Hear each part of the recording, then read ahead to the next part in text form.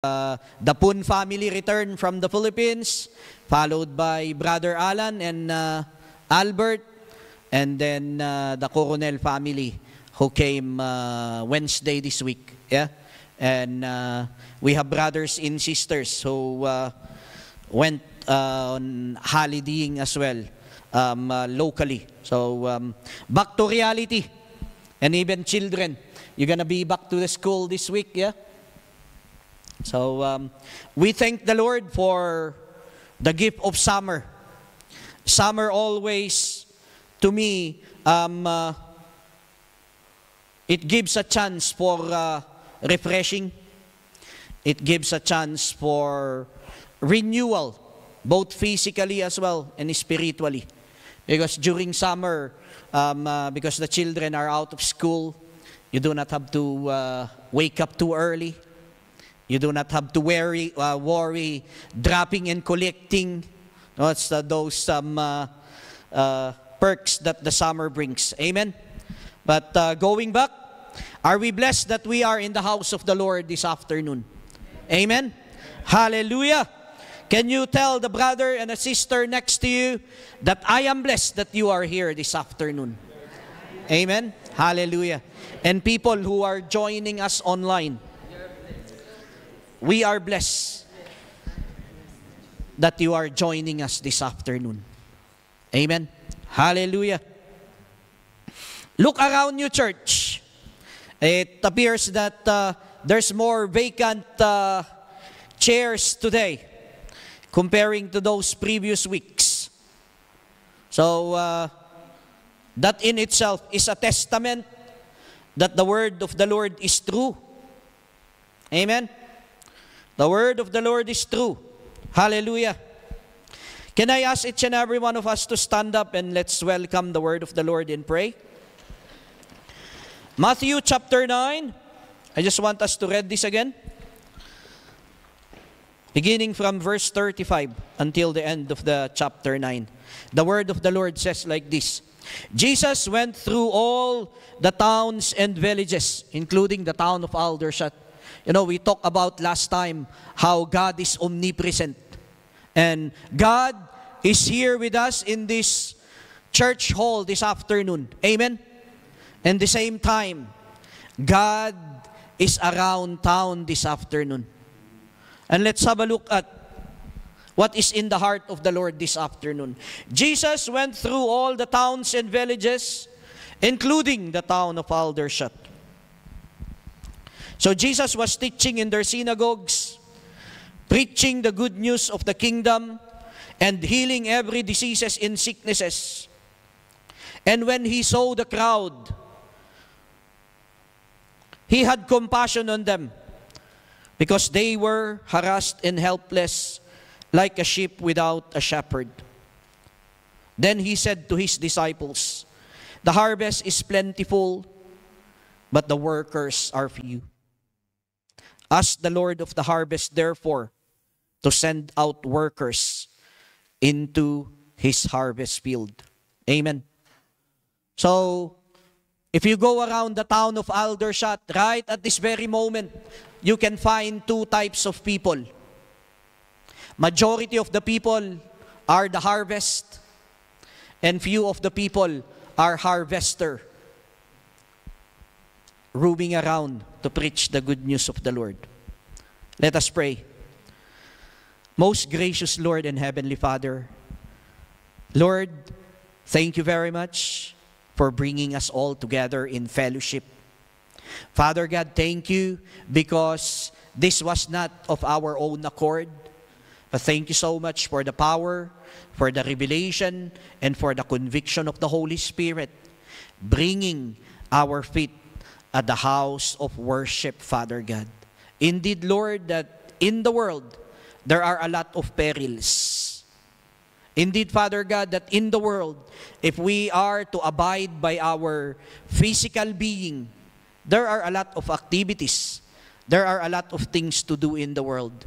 But we thank you so much, Father, because it is not an accident in coincidence that you have brought us in the house of worship this afternoon. So therefore, Father God, we pray that you prepare our heart You prepare our mind, just as according to the scripture that your servant read earlier, that Father, we ought to come in your presence, in your company, with all our heart, with all our soul, with all our strength, with all our innermost being. Therefore, Father God, thank you because we know when we do believe that you are not finished yet. We thank you, Lord, because once again, we are going to receive from you, Father God, a word that will quicken our spirit, a word, Father, that will complement our growth in walk with you, in walking with you. We thank you so much, Father. I desire that you continue to hide me behind you. Continue, Father God, to wrap me with the most precious blood of your Son, Jesus. That, Father God, these people gathered here today and the people joining us online won't just be mere staring and listening to this person standing in front. But Father God, let us all consider the word that you have set upon my heart, the word, Father God, that you have set upon my mouth, Father God, in order to bless your people this afternoon. In Jesus' mighty name we pray. Amen. Hallelujah.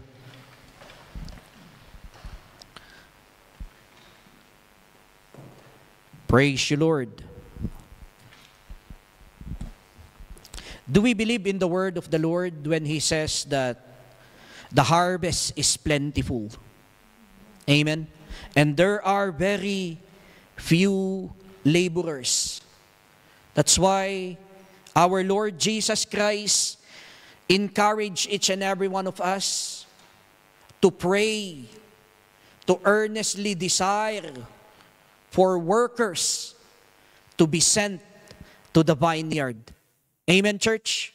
How many of us wants workers to be sent in the vineyards? How many of us wants this harvest outside to be brought in in the kingdom of God? Amen, church? I'm just wondering, where would these workers will come from? Any idea, my dear brothers and sisters? Any idea where will these workers and harvesters will come from? Any idea? Look at one another and tell them that you are God's co-worker. Is that not our message last week? That you are God's co-workers, my dear brothers and sisters. I agree that you know, if there is a job employment open and they are in need of engineer, where would they hire? In the pool of engineers. Amen? They wouldn't hire somewhere else. And the same thing in the kingdom of God, my dear brothers and sisters. The Lord will raise up from among His church, from among His people, workers and worshipers. Amen? So, my dear brothers and sisters, we are here in the church as a training ground. Amen.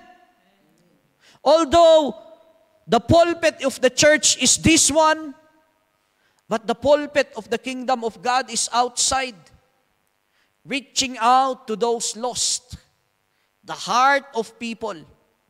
Amen, church. Amen. There is a saying where all of us, I believe, agrees. There is a saying where all of us wants to hear. And that saying is, everyone deserves a second chances. Amen? And I agree on that.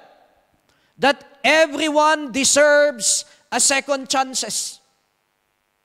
Probably, I believe that everyone deserves not only second chances, even third, fourth, fifth, sixth, seventh, and so forth, my dear brothers and sisters.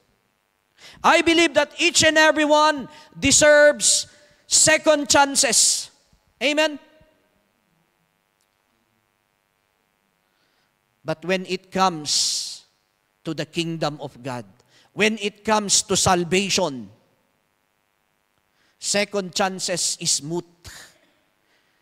In the kingdom of God, when it comes to salvation, my dear brothers and sisters, when it comes to eternal security, there are no second chances. Hebrews chapter 9, verse 27, it says in here, and pay attention, it is appointed for man to die once. And after that is the judgment. Amen?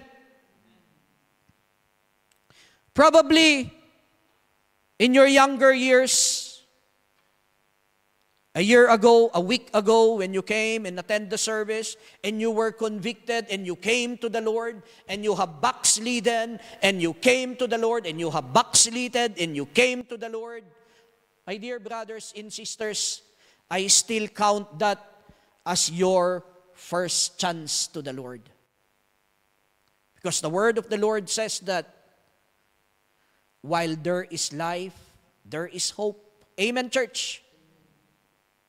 But when we are talking about the judgment of the Lord, when we are talking about your actual salvation, the very salvation, my dear brothers and sisters, there are no second chances.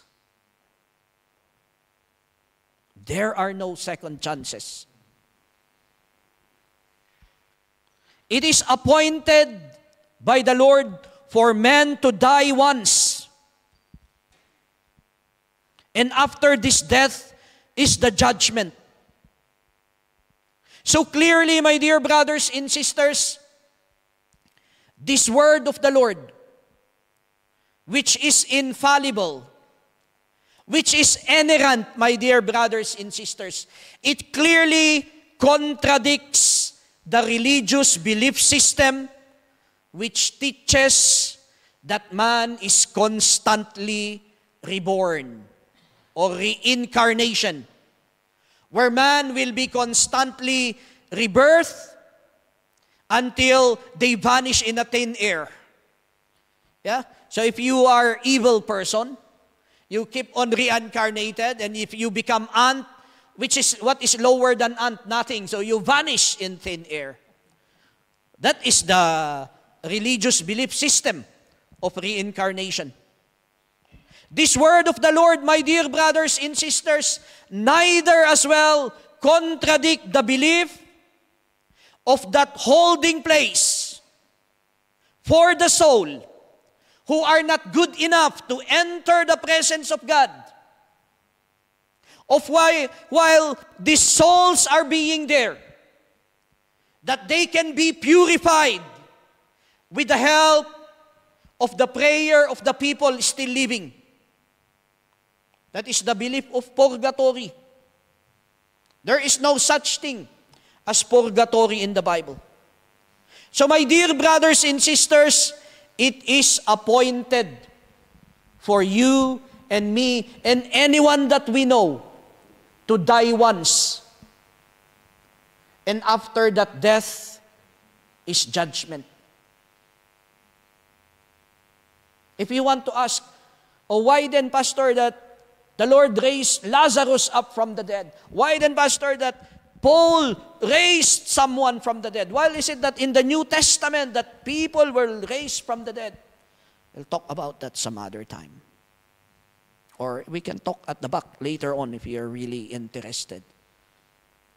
The message today, my dear brothers and sisters, is between you and me. It is destined for each and every one of us to die once. And after that death is the judgment. Amen. Like what I have said earlier, the Bible is infallible. Infallible, my dear brothers and sisters, meaning the Bible is trustworthy. You can trust the Bible. Infallible, my dear brothers and sisters, means incapable of being wrong. Amen? It is not capable of being wrong. So when the, the Lord says that it is destined for ma- one man for man to die once and after that judgment there are no multitude of explanation. It is what it is my dear brothers and sisters. Amen? The bible is very clear that man will experience single death. And once this happens it says in here each person is accountable for their actions in life. Amen. It is destined for one man, for man to die once. And after that, giving out accountability with our Lord. Matthew 12, 36, it says in there, my dear brothers and sisters, that everyone in the judgment will give an account of everything that we have done here in earth. We will give an account of every um, H, uh, HCSB, it says in there, with every careless words that we have spoken. In other translation, it says in there, every godless chatter or words that we have spoken. Children, Sister Grace talks about swearing and cursing.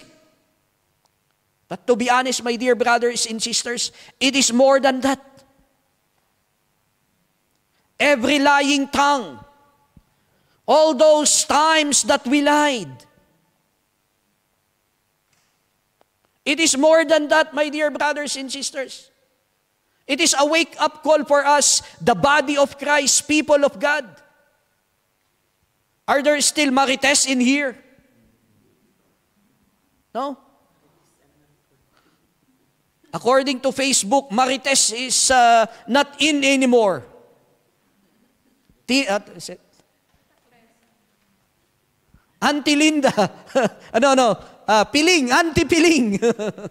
no, but my dear brothers and sisters, we are learning. Because later on, we will learn that coming to the Lord is more than what this world wants us to believe.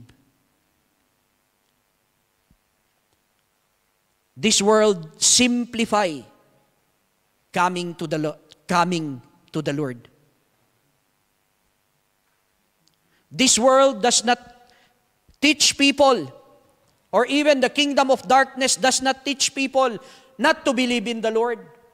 They do not teach people not to come to church. They teach a teaching how to believe in the Lord contrary to what the infallible word of the Lord really means for you and me. So, my dear brothers and sisters,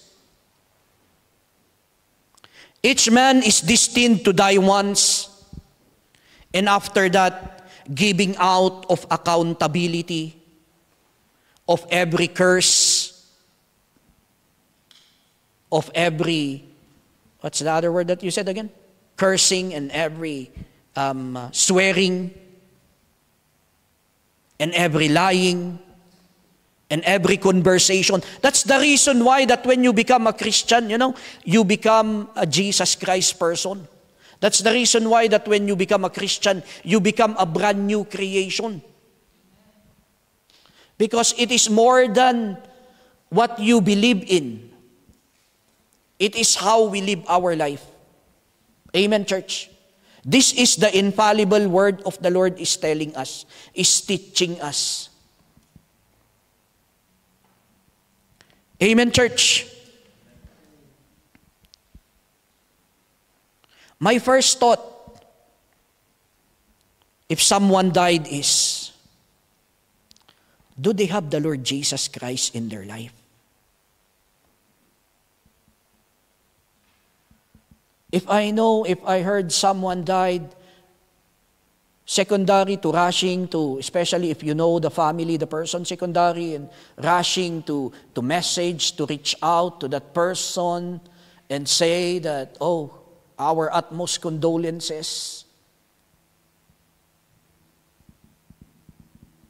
I cry and I speak to the Lord and say that, Lord, does this departed someone have you in their life? And my dear brothers and sisters, dying without Jesus Christ will lead to a forever, eternal separation from God with no second chances of reconciliation. Dying without the Lord Jesus Christ once again will bring you to a place where you are eternally separated from God. And there will be no second chance to be reconciled, my dear brothers and sisters.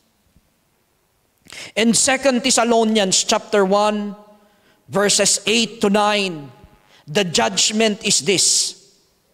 Amen. Where is the judgment? In flaming fire inflicting vengeance on those who do not know God and on those who do not obey the gospel of our Lord Jesus Christ. They will suffer the punishment of eternal destruction away from the presence of the Lord and from the glory of His might. Amen, my dear brothers and sisters. That is the judgment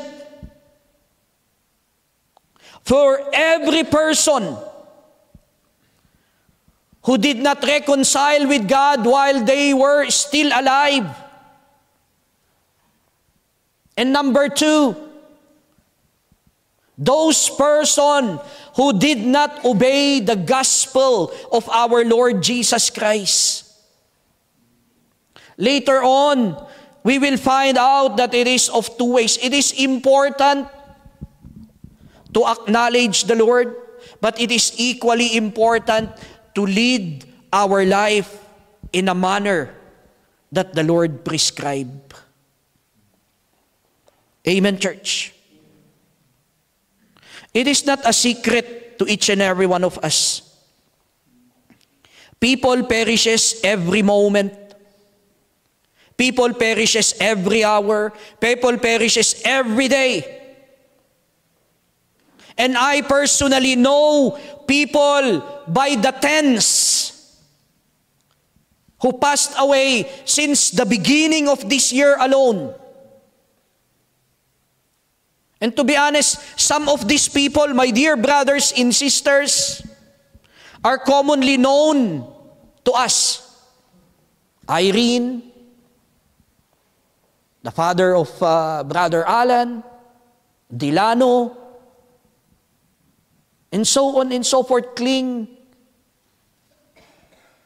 So my dear brothers and sisters, it is not a secret that people perishes every moment.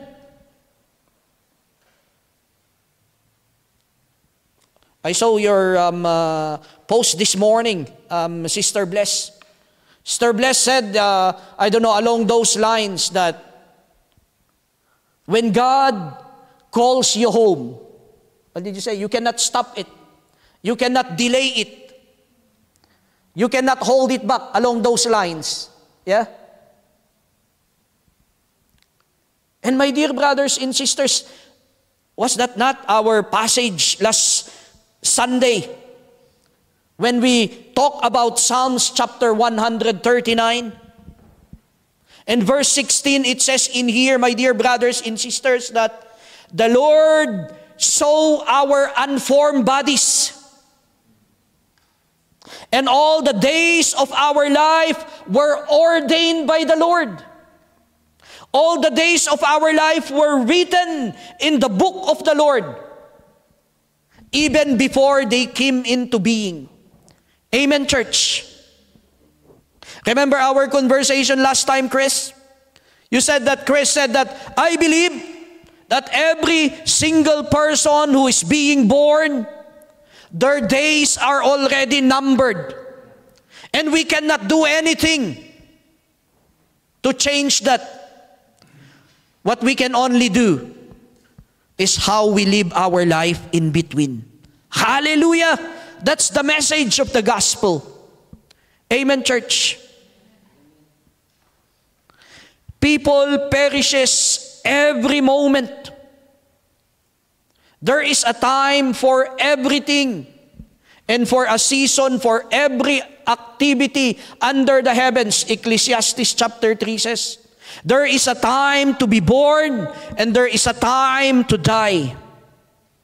There is a time to be planted here on this earth and there is a time for life to be uprooted out of this earth, my dear brothers and sisters.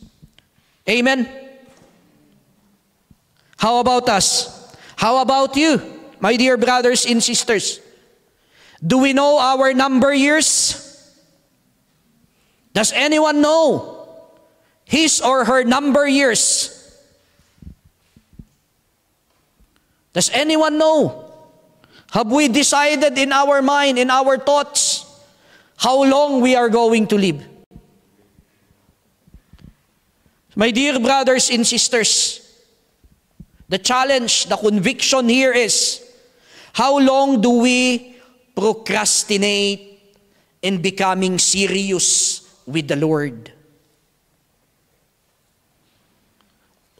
We agree that we do not know our number years. Amen?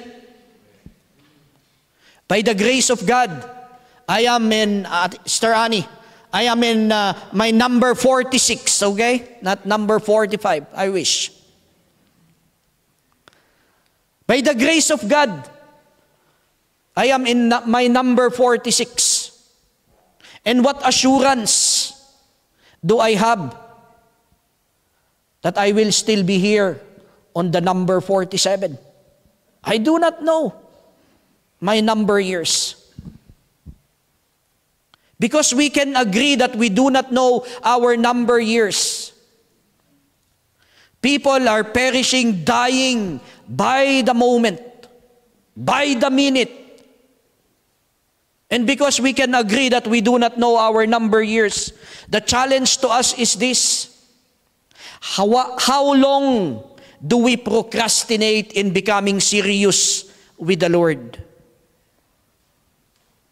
How long will we go on avoiding the Lord? How much time and how many ways do we take the Lord for granted? Earlier this week, me, Brother William and Sister Ramon were sharing. And we shared that, you know, we as a human being, we are the biggest gambler of all times. We know that we cannot win, but yet we keep on gambling. We keep on gambling.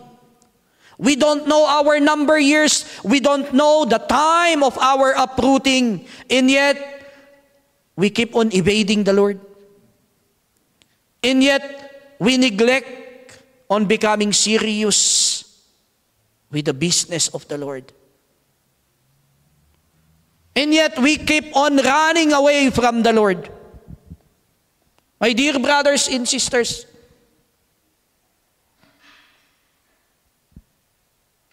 Hanggang kailan natin ipagpapaliban?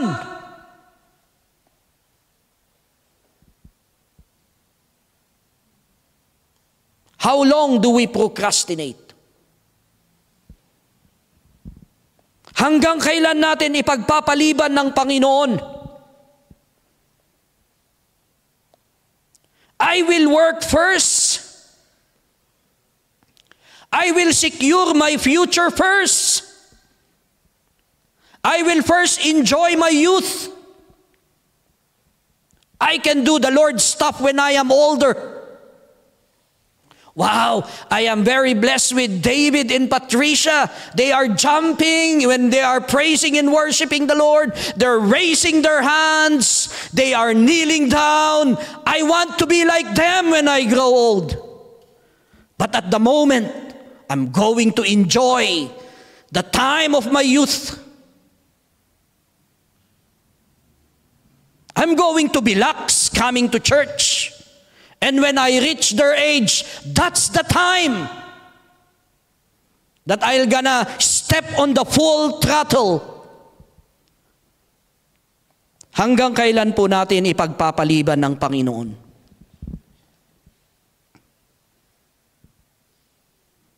I will go and have a holiday first and enjoy life of enjoy life first and then I will find time for the Lord later on. But my dear brothers and sisters, the wisdom that you received this morning, Sister Daisy, that we don't know our time. In the twinkling of the Lord's eye, in the snap of His fingers, my dear brothers and sisters, you cannot say, Wait, Lord, I'm going to bury my dead. You cannot say, Wait, Lord, can I say goodbye to my loved ones first?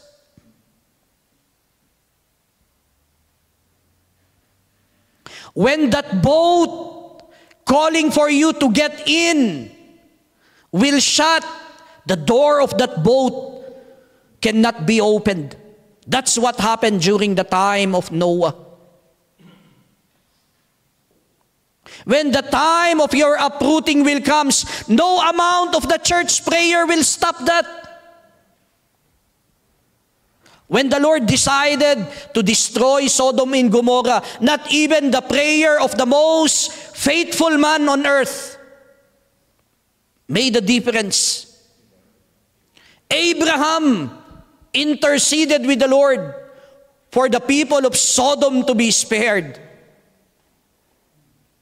My dear brothers and sisters, how long we are going to procrastinate the Lord?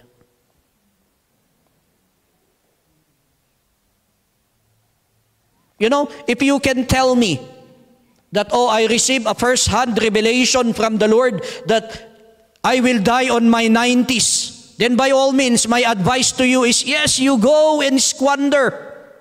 Come to the Lord when you are 89. But my dear brothers and sisters, James chapter 4, verses 13 to 14. Come now, we people who say, Today or tomorrow, we will go to such and such a city. Spend a year there, buy and sell, make a profit. Yet you do not know what tomorrow will bring. What is your life? My dear brothers and sisters, ask this yourself. What is my life? Ano nga ba talaga ang buhay ko? What is your life? You are a mist that appears for a little time and then vanishes. Wow. Go out first thing in the morning, it's so misty outside go back to collect the bin, go out to bring it out, the mist is gone.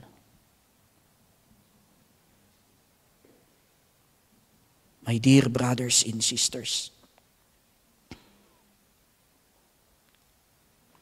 things can happen in a twinkling of an eye. Like I've said, sometime June, I have one of our lady friend in the university who is based in France. And on that one Wednesday evening, we were chatting. Because we have a group chat, the university chat, and one Wednesday evening.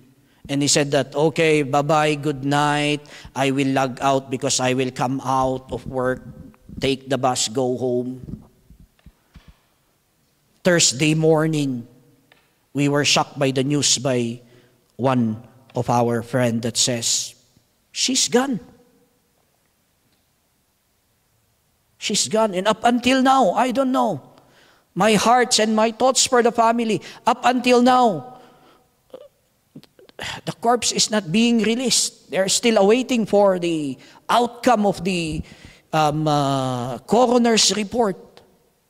We don't even know if it is suspicious kind of death or what, but the message in there, my dear brothers and sisters, is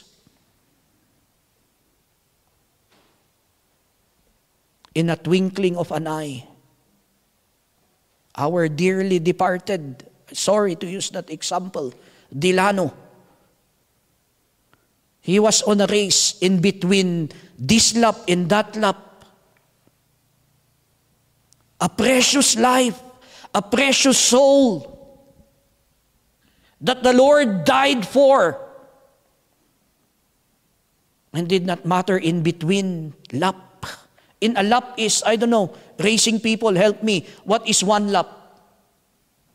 Two minutes? Three minutes? Say that. Yeah, but that one, what lap in uh, between the lap and the next one? Man, that's very sad.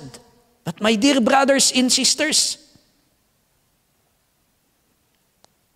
this is the reason why that we are talking about this message this afternoon. This is the reason why that we are talking about this message this afternoon. Any person who dies without Jesus Christ will be cut off from eternity. Every man, woman, and we have the discussion last time, children that has come of that age of maturity, who does not have the Lord Jesus Christ in their life, and they died. That is an eternal separation from the Father. That is going to be an eternity without second chances, without second chances of reconciliation. And to be honest, my dear brothers and sisters, having these thoughts, personally, it fuels my commitment in the service and in the ministry. I can be honest with you.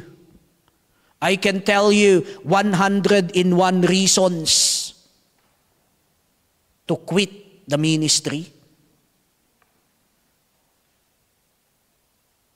But my dear brothers and sisters, the thoughts of having someone to die without knowing the Lord, that will be eternally separated from the Father, that kind of reins your heart to persevere. That kind of reins your heart, anchors your will to continue in the service of God. The harvest is plentiful and the laborers are few. Tapos mabawasan pa. There's no justice in there, my dear brothers and sisters. Do we believe, my dear brothers and sisters, that the harvest is truly plentiful? Do we believe it? And I'll be very honest and blunt with you. this harvest, this harvest, these people mentioned by the Lord, that plentiful harvest. These are the people mentioned by the Lord. You know, when the Lord gave that parable of the wide gate in a narrow gate, this harvest talks about those people who are heading to that wide gate. Wide is the gate that leads to destruction, and many people, not many people found it. Many people prefers it. But narrow is the gate, narrow is the door that leads to life, my dear brothers and sisters. And again, not many people, not few people will find it. Few people will stick into it. They have made a conscious effort to stay there. Amen, church. It is not just a case of you are lost and you found the narrow gate.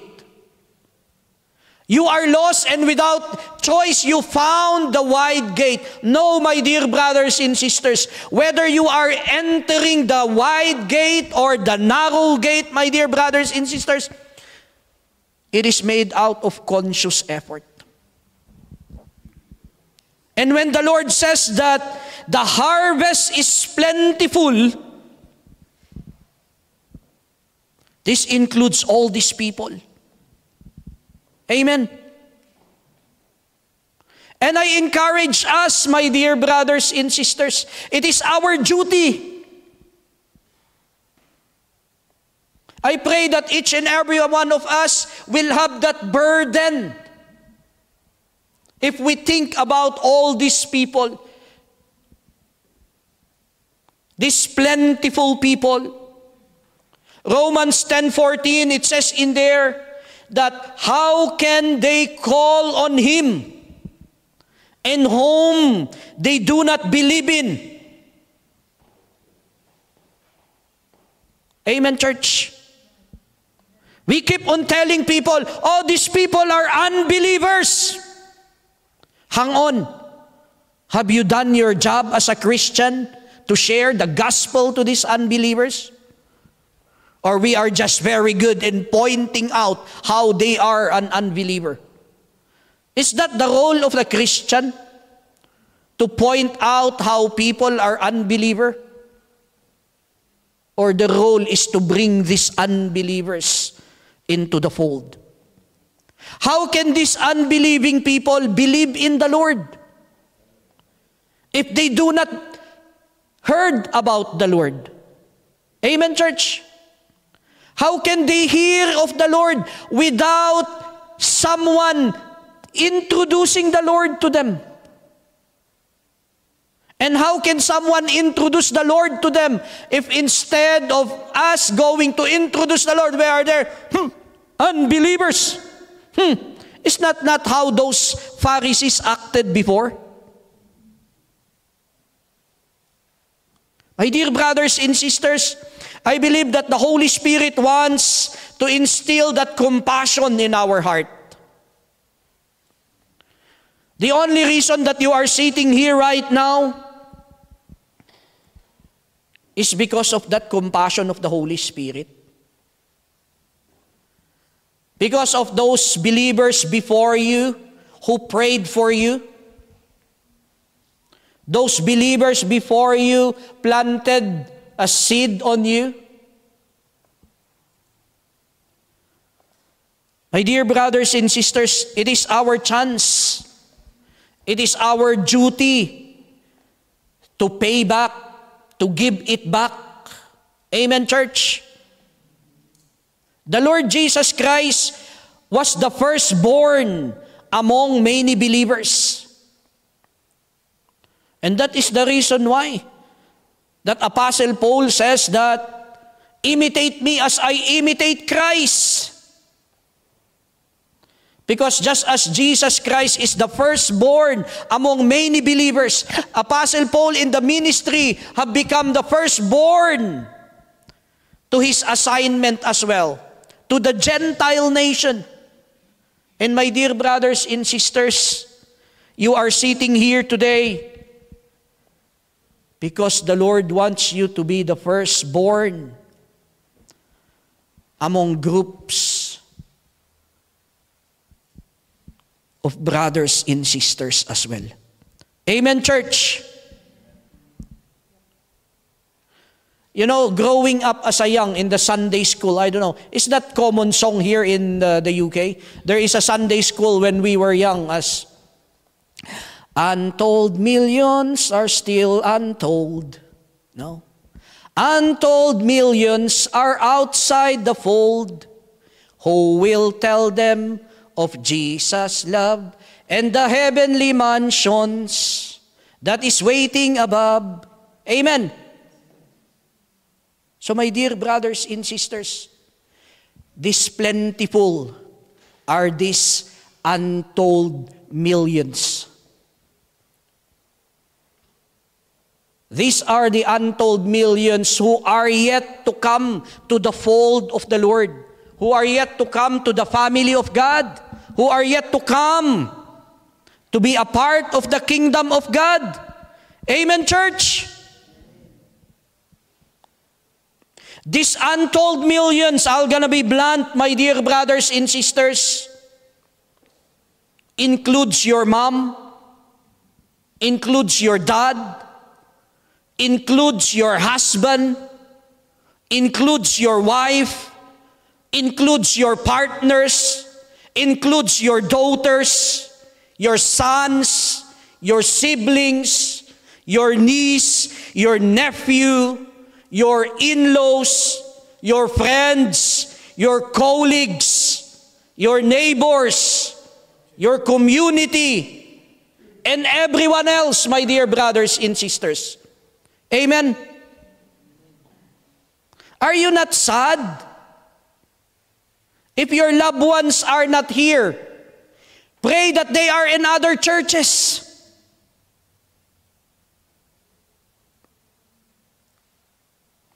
If your loved ones are not here, pray, I pray to the Lord that they are in other churches. Because if not, my dear brothers and sisters, this moment alone, my heart is grieving. It's like I said, it's good if there is an assurance that we know their number years.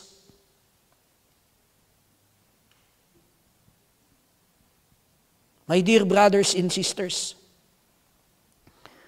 andun na ako. Yes, nandun na ako. That we enjoy coming together.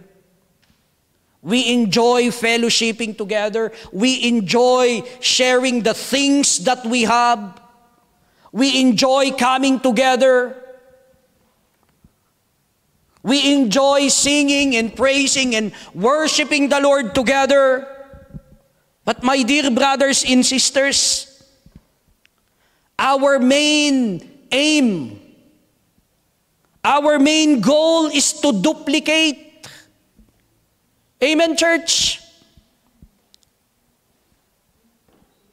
Our function, our role as a Christian is more than coming to the church on Sunday, more than preparing for the church on the Sunday, more than praying, more than praising, worshiping the Lord, more than accepting the Lord as our personal Lord and Savior.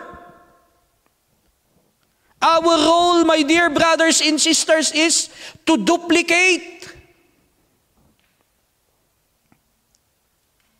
One day, God, Jesus was walking. He saw this fig tree filled with leaves, seemingly healthy, seemingly um, uh, fruitful. But when Jesus Christ wanted just one single fruit, he was not even pl- planning to share to the disciples. He was only uh, asking for one fruit, and there is no fruit, my dear brothers and sisters. The parable of the talents, we talked about that last week.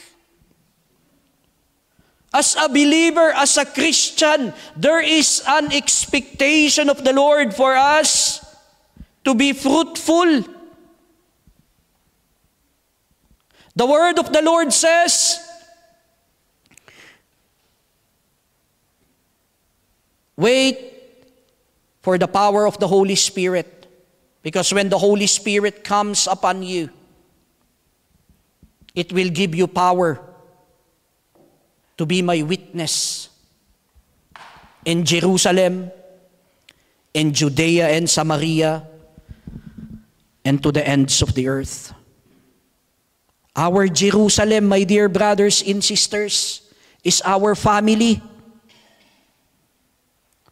Our Judea and Samaria is our friends, our colleagues, our neighbors. And to the ends of the earth is whoever, anyone that you can come across with. Amen, church. As a believer, as a Christian, that is the reason why that you were called by the Lord to step in the fold in order to equip you and enable you to duplicate. Matthew 28 19 to 20. Go therefore and make disciples of all the nation. I want us to study this a little bit. This is the Great Commission. But let us see what is the secret that is embedded here. Matthew 28, 19 to 20. Why is it that Jesus Christ gave this commission to each and every Christian? Because the bread and butter of our salvation, the secret of the our salvation is embedded in this. Go therefore, the Lord says, and make disciples of all the nations. Amen. Christians are commissioned in making disciples. Amen, church. Jesus is not only talking to the ministers, to the pastors, to the teacher, to the evangelist, to the apostles. This is a mandate, a calling to each and every single Christians. Christians are commissioned in making disciples. Amen, church? And by the rule of thumb, you can only make a disciples if you are a disciple. Of course. Amen. You can only make a disciple if you are a disciple. That's the reason why, my dear brothers and sisters, that we must first be a disciple. Amen. It says in there, Go and make disciples of all the nation, baptizing them in the name of the Father and of the Son and of the Holy Spirit, teaching them to observe all things that I have commanded you. And lo, I am with you always until the end of age. Amen.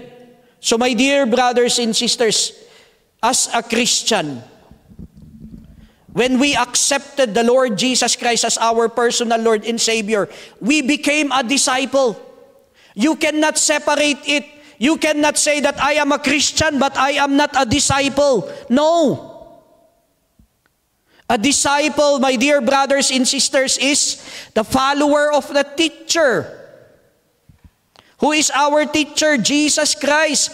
Christian means the follower of Christ. Amen. So Christian in being a disciple is synonymous. Amen, church. So my dear brothers and sisters, as a Christian, as a disciple, we need to duplicate. We need to make disciples. And these disciples are marked by the baptism received in the name of the Father and of the Son and of the Holy Spirit. Amen, church? That is why, you know, the first action of a person who accepted the Lord Jesus as their personal Lord and Savior, they will supposed to immediately subscribe to baptism. Amen. Do not wait in two years' time when we go to Israel to be baptized. If you truly are a believer, as received the Lord as a, uh, as a disciple, as a Christian, there and then, there is that desire to receive that baptism. Amen, church? Because that baptism, my dear brothers and sisters, is that public declaration to people, to anyone who wants to know that I am now a believer that I have changed a master. that I now belong to a different kingdom. Amen, church? How can one become a Christian? How can one become a disciple? Romans 10:9. If we believe, if we confess in my, our mouth that Jesus Christ is Lord and believe in our heart that the Lord has raised him up from the dead. At the point that you became disciple, something first will have to happen. Anyone? Anyone? Yeah, now you repent, but that moment that just before before you become a disciple, you become justified. Amen. Before you become a disciple, you are a sinner. Like what I've said last time, every man who is born becomes a sinner. But when you accepted the Lord as your Lord and Savior, you were justified. Your guilt has been declared innocent. Amen, church? That is the principle of justification means. Where before you are a sinner, because you accepted the Lord Jesus as your Lord and Savior, Jesus justified you, and Jesus said that according to my knowledge, you are innocent. Amen, church? And that's the only time that you become a Christian, a disciple. You cannot be called a Christian and is still bearing the sin of the flesh in nature. Meaning, my dear brothers and sisters, one must be justified in the eyes of God. Amen? No one can be called a Christian without first being justified in the eyes of God. Number two, my dear brothers and sisters, it says in here, teach them to obey, to observe everything that I have commanded you, the Lord said. So first, there is that process where you become justified to become a Christian. When you are now a Christian, you need to, my dear brothers and sisters, observe all the things that the Lord commanded mankind to do. You know, that is the daily process of sanctification. Sanctification, my dear brothers and sisters, is more than just you become a morally upright person. You know, when ayaw mong magkasala, when you hate sin so much, when whatever it is that you need to do, that you need to make sure that is morally upright, My dear brothers and sisters, when the Lord says that teach them to obey everything that I have commanded you, the Lord is not talking about that moral composition of our life. That is just a small fraction. The Lord there, uh, taught us a provision in worship. There is a provision in worshiping the Lord. When we say, when the Lord preached that tell people to do everything,